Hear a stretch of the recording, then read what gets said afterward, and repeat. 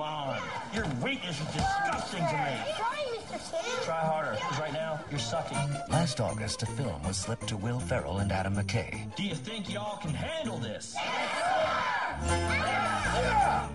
Taekwondo's a deadly serious killing system.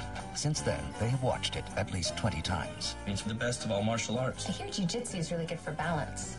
No, jujitsu sucks. They quote it. You're just a man who is overweight and has breasts the size of a female. They obsess over it. You like to party?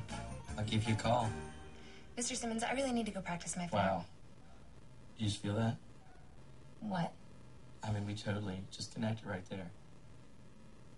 And now they want to share it. I'm noticing that a lot of y'all are just throwing single kicks and punches. What you need to be doing is following those through with some combinations. Block with the right, distracting back fist, and spin crescent kick. Got you, didn't she, Rick? No, I was just doing what you told me to do. I think Marge and I know different, don't we, Marge? Yes, sir. You come with whatever you got. Full contact. I don't think you're gonna like how this ends, Hot Shot.